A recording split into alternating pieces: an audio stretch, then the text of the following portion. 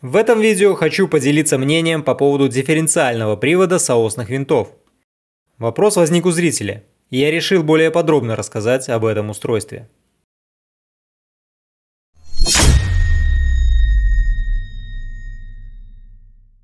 Есть на YouTube два видео. Ссылки на них найдете в описании. На одном показан привод через зубчатый механизм с внешним зацеплением, на втором через дифференциальный механизм. Несколько слов по поводу обычного зубчатого механизма. Для тех, кому хотя бы немного понятна техника, очевидно, что привод через промежуточный вал будет осуществлять вращение в противоположном направлении, по сравнению с тем случаем, когда этого вала нет. Основная задача – подобрать шестерни так, чтобы скорости винтов по модулю были одинаковы. Думаю, для большинства зрителей, знакомых с расчетом передаточного отношения, не составит труда. Если кто-то хочет потренироваться в этом деле, то подробности о расчете передаточного отношения в одном из видео канала. Все ссылки смотрите в описании. Дело в том, что когда заходит разговор о дифференциальном приводе, возникает вопрос, будет ли он работать. Мнения здесь разделяются. Кто-то говорит «да», кто-то «нет». Сейчас поделюсь своим мнением по этому вопросу. Первое, что необходимо отметить, в варианте с внешним зацеплением использован механизм с одной степенью свободы. Это значит, что вращая входной вал, однозначно задаются скорости всех звеньев. То есть для анализа кинематики достаточно знать кинематические параметры. Если кто-то помнит шпаргалку по планетарной передаче, она существует в двух вариантах, и ее можно скачать. В ней упомянуто 5 режимов работы. Первые 4 связаны с остановкой одного из звеньев – или блокировкой двух любых звеньев между собой. Эти варианты представляют собой механизмы с одной степенью свободы. Пятый вариант – это дифференциальный механизм, имеющий две степени свободы. Глядя на рассматриваемое видео, становится очевидно, что представлен пятый вариант. То есть вращаются все звенья, механизм дифференциальный, имеет две степени свободы. Поэтому необходимо забыть о четырех режимах и рассматривать пятый. Кстати, на канале и на этот счет есть видео. Когда вопрос заходит о дифференциалах, интуиция и здравый смысл не всегда могут помочь. Здесь нужно применять научный метод.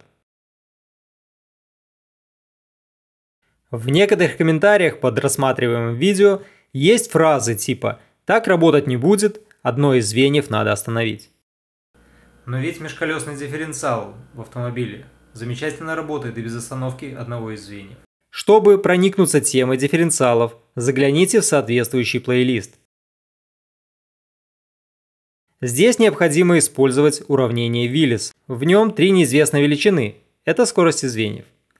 Передаточные отношения можно найти, посчитав число зубьев. Глядя видео, можно заметить, что корона и водила вращаются в разные стороны одинаково медленно, а Солнце значительно быстрее в сторону водила. Значит, корона и водила – соединены с винтами. Их скорости имеют противоположное значение. Таким образом, разделив все члены уравнения Виллиса, например, на скорость короны, получаем. Как видно, отношение частоты водила к частоте короне равно минус единица. Откуда передаточное отношение от Солнца к короне будет равно 2 передаточных отношения минус единица. Понимаю, что передаточное отношение имеет отрицательное значение и больше единицы по модулю, можно сделать вывод, что корона и Солнце должны вращаться в разные стороны, а корона будет вращаться медленнее, чем при остановленном водиле. Можно то же самое проделать для передаточного отношения от Солнца к водилу. Положительное передаточное отношение свидетельствует о том, что водила будет вращаться в противоположную сторону от короны с той же скоростью. Кинематическая возможность реализации данного режима доказана. Подождите, это еще не все. При доказательстве использовано утверждение о том, что корона и водила вращаются с одинаковой скоростью. В общем случае это не обязательно будет так. То есть в дифференциальном механизме необходимо задать скорости двух, а не одного звена чтобы все его звенья имели однозначную скорость. А в том случае, если скорость задана только для одного звена, как в нашем случае, приходится учитывать силовой фактор. В дифференциальном и планетарном механизмах соотношение моментов, действующих на звенья механизма, имеют фиксированное значение вне зависимости от частоты их вращения. При действии таких моментов скорость звеньев будет постоянной. Если прикладываемые к звеньям моменты не соответствуют показанному распределению, то скорости звеньев начинают изменяться до тех пор, пока моменты не изменятся в соответствии с заданным соотношением. Что из этого следует?